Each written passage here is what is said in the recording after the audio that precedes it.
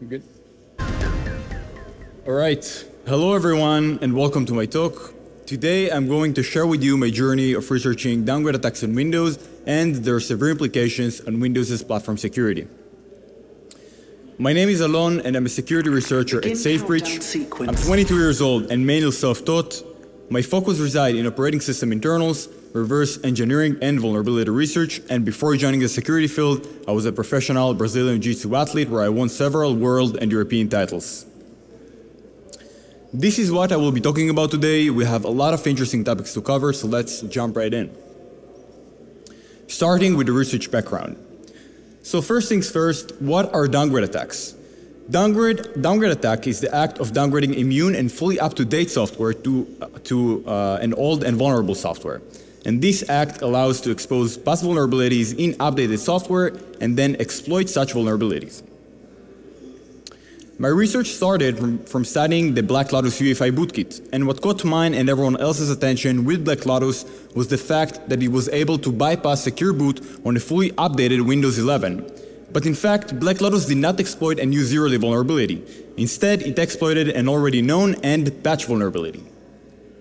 And that was of course done by employing a downgrade attack. To give you a better understanding of how Black Lotus's downgrade was formed to bypass secure boot, you first need to know what is secure boot. So simply put, secure boot is a security feature which is responsible to verify that each component in the boot chain is digitally signed. It is very simple, if you're not signed, you're not loaded. And so the days of loading a custom bootkit by replacing the boot manager are gone. Instead, what Black Lotus did was to downgrade the Windows Boot Manager to signed but vulnerable version of it, and this allowed to then exploit an old vulnerability sourced in the vulnerable boot manager to then bypass secure boot. Microsoft's mitigation against secure boot downgrades included multiple actions with the main one being revoking vulnerable boot managers and boot applications, and revoked images are of course not allowed to be loaded. But here comes the critical question. Are there any other components other than secure boot that may be vulnerable to downgrade attacks? My goal in this research was to evaluate the state of downgrade, downgrade attacks on Windows and to find if components other than secure boot may have been overlooked. Now, I'm sure you're all familiar with bring your own vulnerable driver attacks targeting third-party drivers. My vision was to target first-party entities, not only drivers, but even entities residing in a lower level than the kernel. My vision was to create a new category of bring your own vulnerable windows. To kick off my research, I've had to first form a reliable downgrade ability which led me to define what would be considered a perfect downgrade attack. So first, the downgrade must be fully undetectable so that EDRs would not block the downgrade.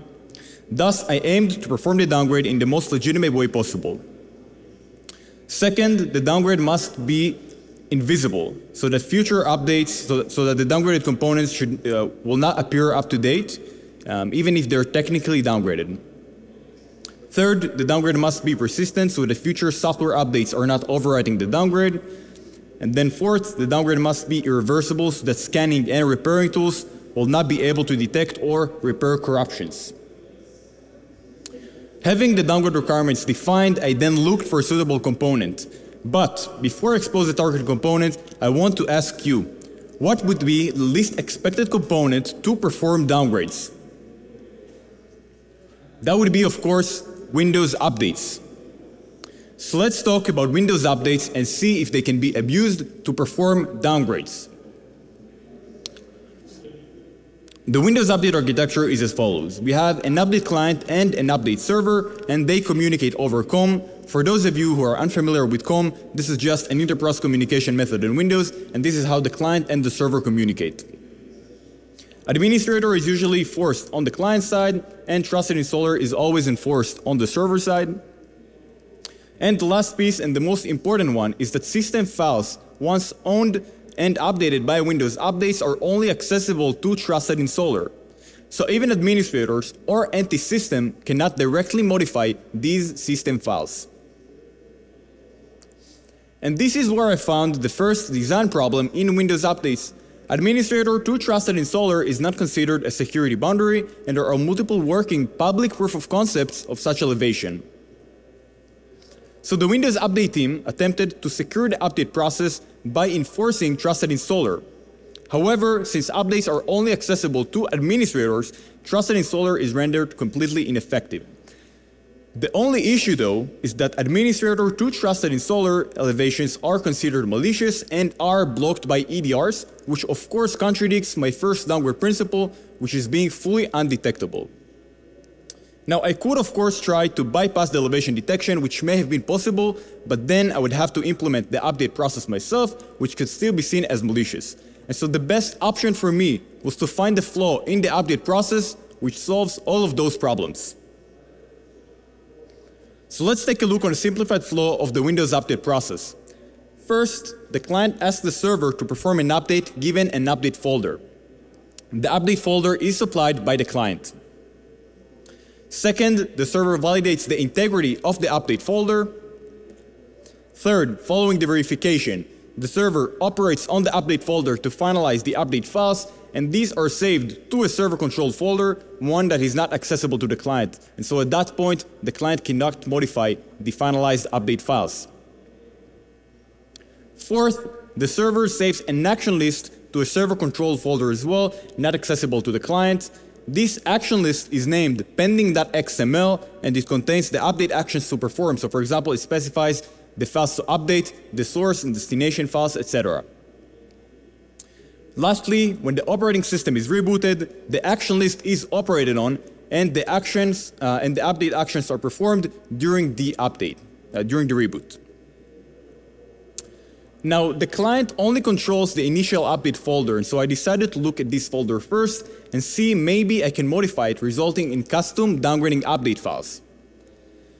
And as we already know, integrity checks are performed on the update folder, so let's see how well the integrity checks are performed.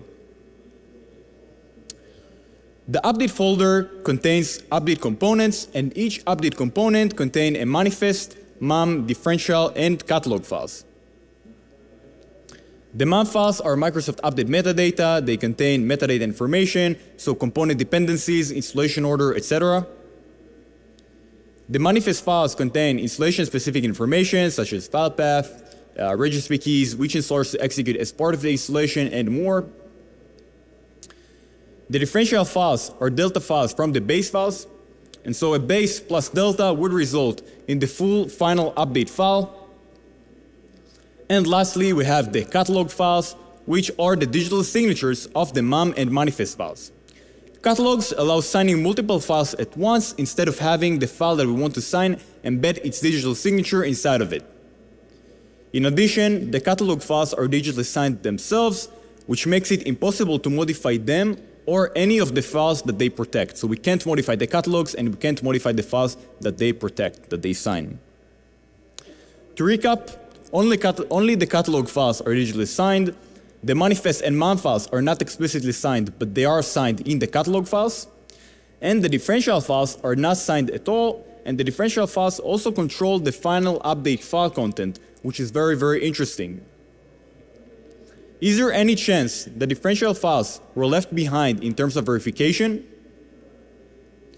No luck, because the expected update file hash is hard-coded in the manifest, and the manifest cannot be changed since it will break its signature in the, in the catalog. Now, at that point, I decided to look at the action list. I knew that it's, it's, it's, it cannot be changed because it is trusted installer enforced, so I cannot change the action list directly, but I also knew that the update, up, that, that update process is performed over multiple reboots, and so I assumed that the state of this list is saved somewhere. And if I could modify the state, maybe I, was, I would be able to uh, create a custom downgrading action list. So I searched the action list path in the registry, and then I found this very interesting key named poqxxcmdline. It holds the executable that parses the list and the list path. I then looked at the security attributes of this key, and I was extremely surprised to find that this key is not trusted installer enforced. And this allowed me to control all of the update actions. This is how the action list looks like in practice. It is an XML file that gives the functionality of creating files, deleting files, moving files, hard linking files, creating registry keys and values, deleting keys and values, and much, much more. In order to downgrade, we can use the hardlink file action and the source will replace the destination. To initiate an update, all that is needed is to set the trusted installer service as autostart and add the action list and its identifier in the registry. The identifier is a dynamic number which is compared with the action list identifier. So the identifier is needed for integrity purposes, but since we control both the registry identifier and the identifier in the action list because we control the action list path, then this is not a problem because we can adjust them accordingly. Now the most important thing is that none of these three actions is trusted in Solar enforced. And this allowed me to update the system with a custom downgrading action list. All of the integrity verifications are bypassed since the action list is assumed verified as it is created post-verification. There is no need to perform the malicious trusted installer elevation. Instead, Windows Updates does all of the work for me, and this is a complete Windows Update takeover. Now, revisiting the downgrade principles, of course the downgrade is fully undetectable, there is no better way to downgrade Windows. In terms of invisibility, the system will appear up to date as we basically updated the system and we didn't uninstall anything. In terms of persistency of the downgraded components, I found that the actionless parser is not digitally signed, and so I patched it to install empty updates. And as a result, even after the downgrade, when new updates are available, they will be falsely installed. And in terms of recovery, the integrity and repair utility is not digitally signed as well, and so I patched it as well as part of the downgrade. And the patched version will no longer detect any corruptions. With that, let's see the first demo of the day. This demo will demonstrate downgrading a kernel driver named afd.sys to an old and vulnerable version of it by using the Windows Update takeover. And then we'll see how the same kernel driver is exploited to achieve kernel code execution. So first, we check the Windows version, and then we will make sure that we are fully up to date and that we have no missing updates, as you can see. We'll then uh, use CMD and we'll use the SIGCheck utility to see what is the current version of AFD.sys, the driver that we're targeting. Is it fully up to date? You can see that the current version is 3672, which is patched to the vulnerability that I want to exploit. If we use task list to find the current process ID and then we try to actually exploit a vulnerability, which the exploit gets a process ID and tries to elevate the system, you can see the LP failed because the driver is patched. So we'll then use Windows downdate, which gets a config file that says downgrade the AFD.sys driver to an old and vulnerable version of it. You can see that the attack succeeded. We now need to restore the machine in order for the update to take place. You can see um, we, we, fast forward a bit, we'll log back into the machine. After the update, we'll launch CMD and let's see what is the current version of the driver that we're targeting. Was it updated? And you can see that the current version is the base version. Although the system was updated, what actually happened is that it downgraded. We can see that we're not currently system. If we try to exploit a vulnerability again, we get the process ID and then we execute the exploit again. You can see that it succeeded and we are now anti-authority system. Thank you. Thank you. We're just getting started, guys. If we check for updates, you can see that we are fully up to date. So what did we achieve so far? We gained a perfect downgradability and we gained kernel code execution. Our starting point was administrator, so that was an administrator to kernel elevation. Now, administrator to kernel is not considered a security boundary in Windows, but gaining kernel code execution is still a threat, and of course it gives much more functionality than administrator functionality. Although it is not a boundary, admin to kernel is still a threat and a serious one, because nowadays lots of users are still running as administrators, and running as administrator is also the default on Windows. And as a result, many users could easily compromise the kernel, and this is an issue that Microsoft aimed to solve. Microsoft's solution was to deprivilege the kernel to make kernel access less valuable than it previously was. And the way that this privileging, deprivileging was done is by introducing a feature called Virtualization-Based Security, or VBS for short. VBS is a secure and isolated virtual environment powered by the Hyper-V hypervisor for isolation. And again, the reason that VBS was introduced is because the kernel is assumed compromised and can no longer be trusted. there was a need for a secure place to implement critical security features and store secret keys. VBS features include the famous Credential Guard, HVCI, System Guard Secure Launch, um, shielded VMs, and much more security features that really improved the security of Windows. And now that I have praised VBS so much, you may wonder how all of this works in practice.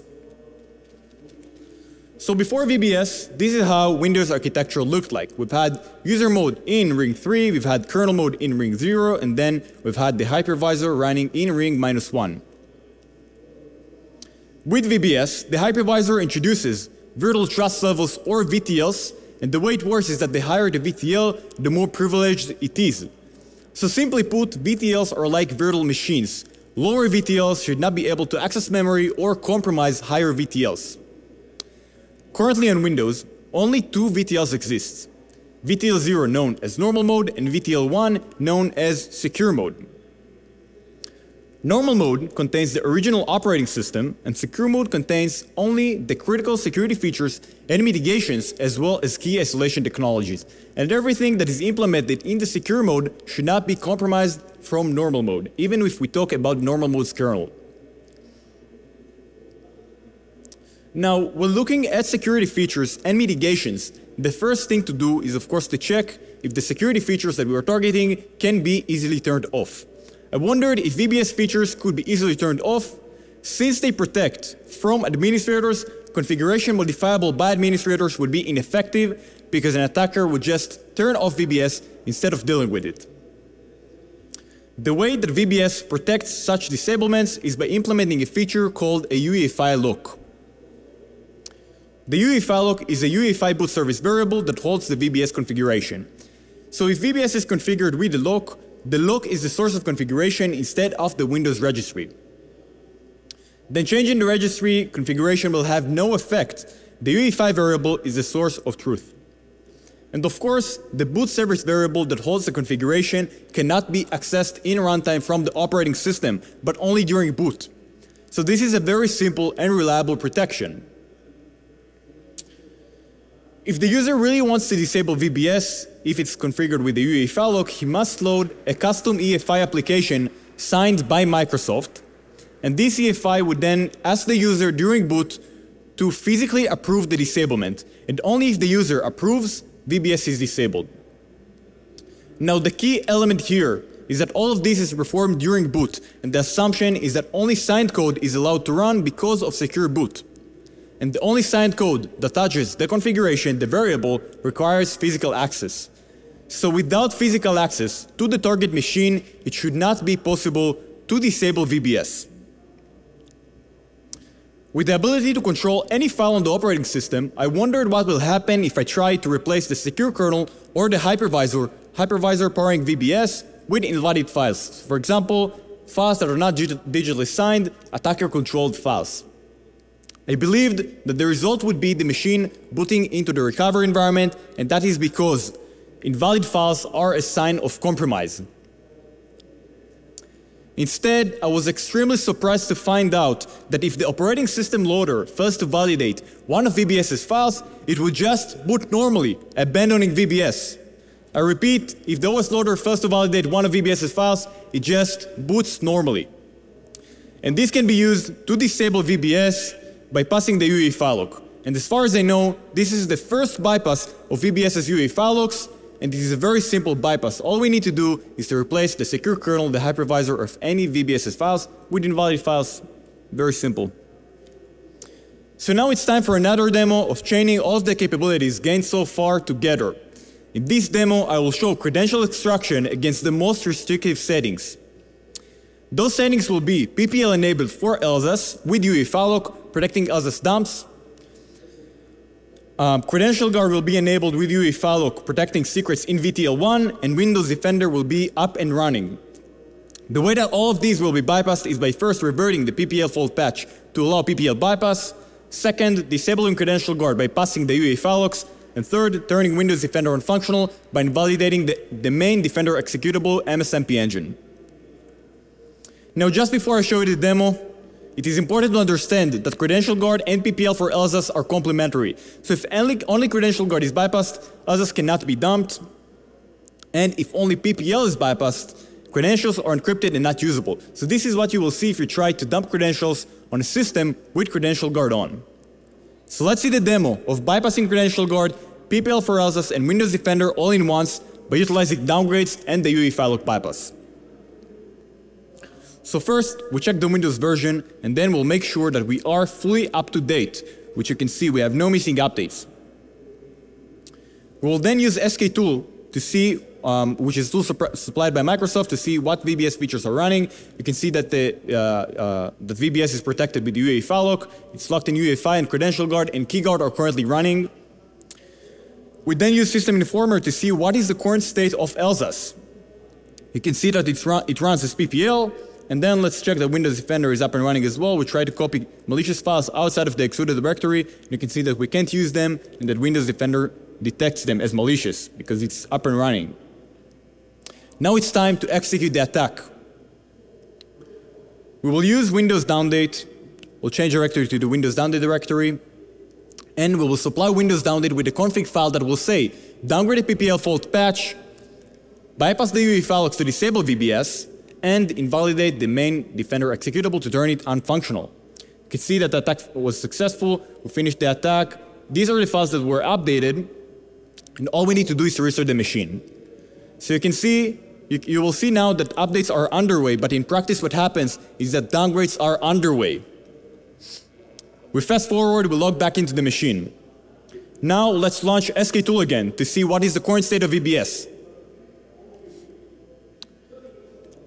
Now you will see that the secure kernel is not currently running, Credential Guard is not currently running as well. So the UEFI lock has been bypassed and Credential Guard is no longer protecting credentials. We'll then launch uh, System Informer and we'll see what is the current state of us. As you can see, it runs as PPO, so we'll need to bypass it. And now let's check what is the state of Windows Defender. We'll copy malicious files outside of the excluded directory. And you can see that it worked successfully, so we defeated Windows Defender as well. We'll launch CMD, CMD again, and now it's time to bypass PPL. We'll change directory, we'll get the, the process ID of Elsass, and then we'll try to execute PPL fault. And remember, PPL fault should have been patched in the system, and it is seemingly patched in the system. We'll execute the attack, and let's see what happens.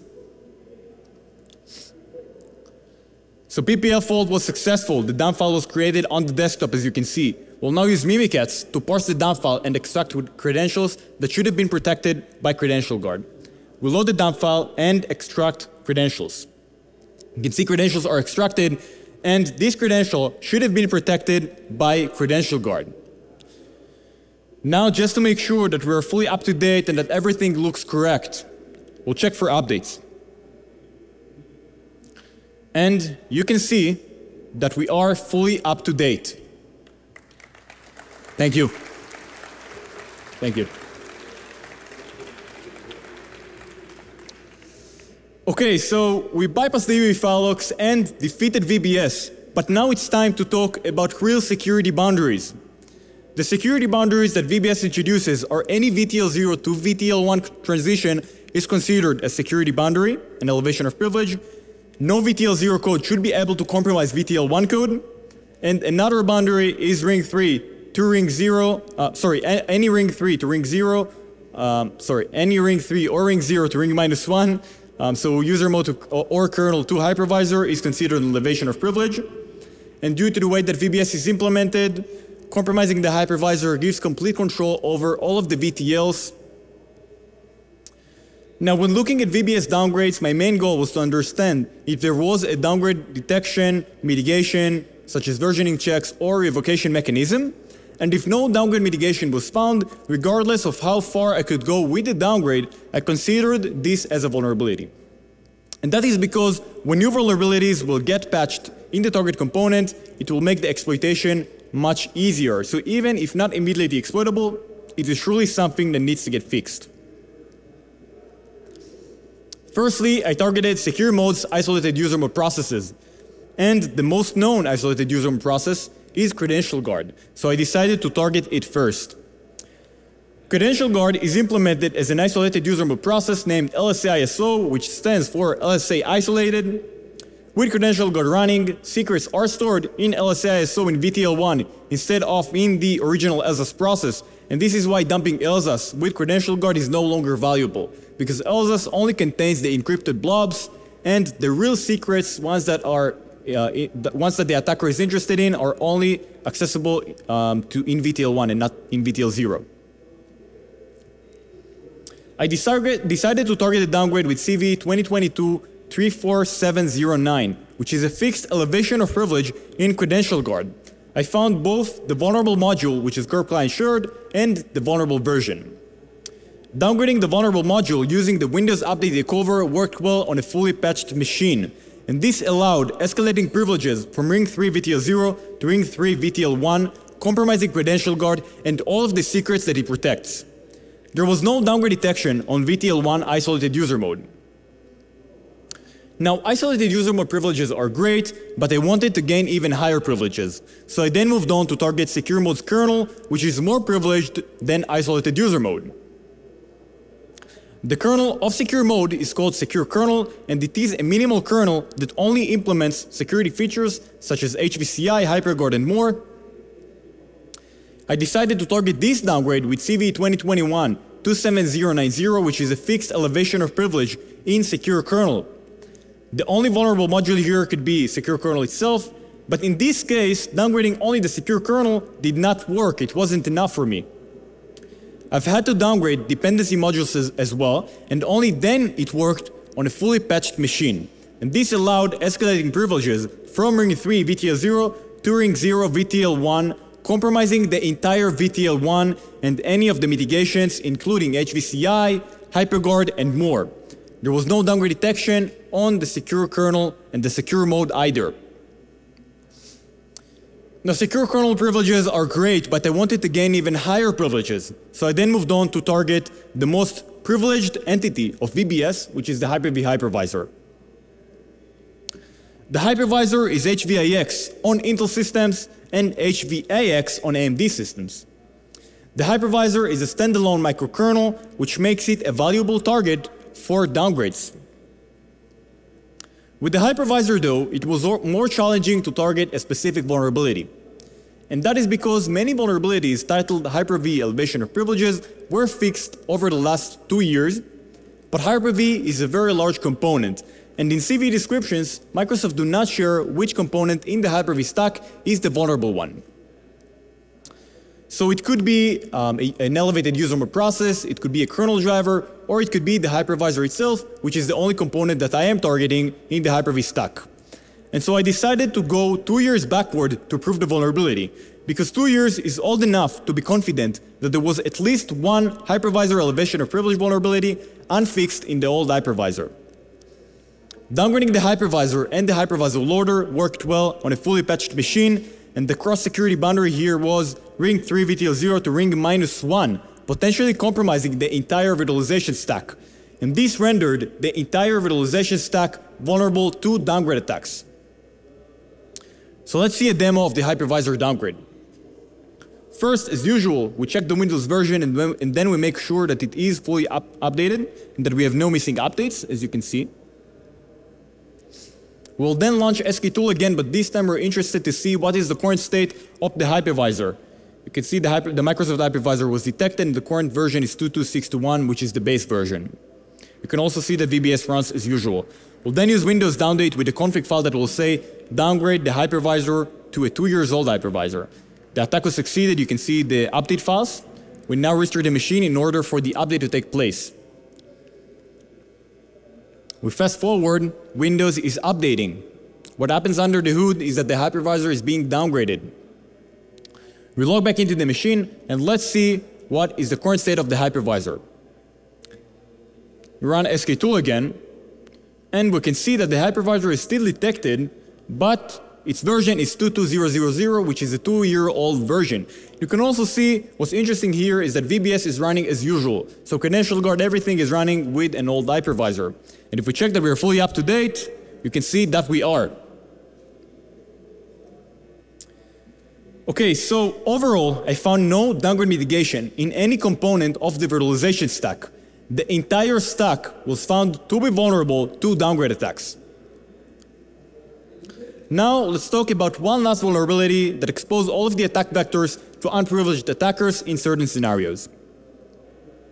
So it all started with this windows.old folder, which I came across in some of my machines, and looking at it and Googling it, I found that this is the old Windows operating system and it is saved for restoration purposes after a quality update is installed. So when you install a quality update, Windows.old is saved, uh, Windows is saved to Windows.old. Of course, the first thing I did was to try to, to, to, modify files inside Windows Old, but I noticed that access lists are copied from the old operating system, and so it was impossible to temper files that could not be previously tampered with.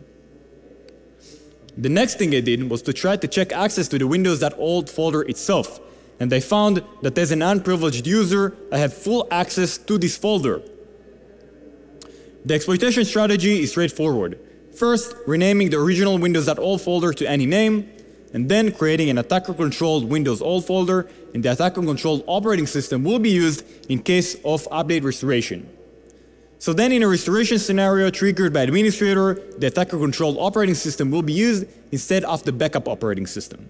So this is another way to perform the same downgrades from an unprivileged user in a restoration scenario. Closing remarks. Let's talk about the disclosure process, next steps, and takeaways. Starting from the disclosure process, we notified Microsoft of our research findings in February 2024 Microsoft issued CV 2024-21302 and CV 2024-38202. This is Microsoft's official response to the research, and I would like to thank Microsoft here for the great cooperation and effort on these cases. For those of you who want to further research the topic that we explored today, here are some of the topics that I would recommend looking at. First and foremost, the critical question still arises. Are there additional Windows features vulnerable to downgrade attacks? So far, both Secure Boot and the virtualization stack was found vulnerable. Do you have in mind additional critical features that you think are vulnerable to downgrades? Another interesting feature introduced not too long ago is Linux virtualization-based security. And this is a game changer for Linux security. Would the same design issues exist in the Linux implementation? Lastly, are there any other operating systems, such as macOS or Linux, that may be vulnerable to downgrade attacks? May the implications on those operating systems be similar to the Windows implications? What are the takeaways for this talk? First, the cybersecurity industry should raise its awareness of OS downgrade attacks and the danger that they pose. I found no mitigation preventing the downgrade of critical operating system components, suggesting that downgrade attacks were not a focal point barrier to my research. The significant implications made, um, made by downgrade attacks emphasize the danger that they pose.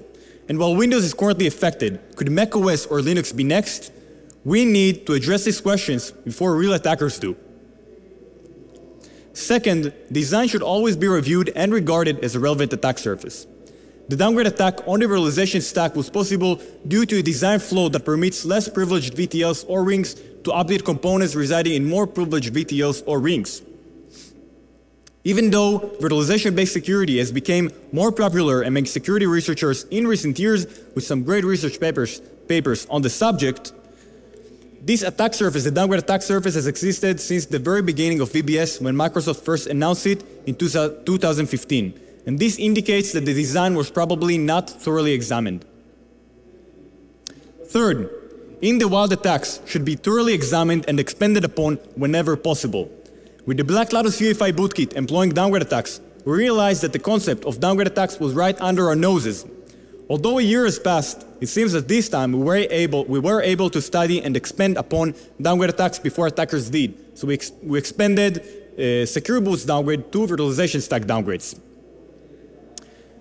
This is not always guaranteed, and this emphasizes the importance of studying in the wild attacks and always considering what other components or areas may also be affected by an in, an in the wild attack. Now, before we wrap everything up, I would like to credit these talented people for their work. It was a pleasure for me to share with you my journey of researching downgrade attacks on Windows and their severe implications on Windows' platform security. Using the findings that are revealed today, you can bring back to life thousands of old and fixed vulnerabilities. Windows Downdate essentially makes the term fully patched, meaningless across any Windows machine worldwide. If you have any question, questions, please catch me in the wrap-up room or here, and also feel free to reach out on social media. And with that, I would like to thank you all for joining me today and have a great rest of your day. Thank you. And we'll, we'll, we'll do it outside.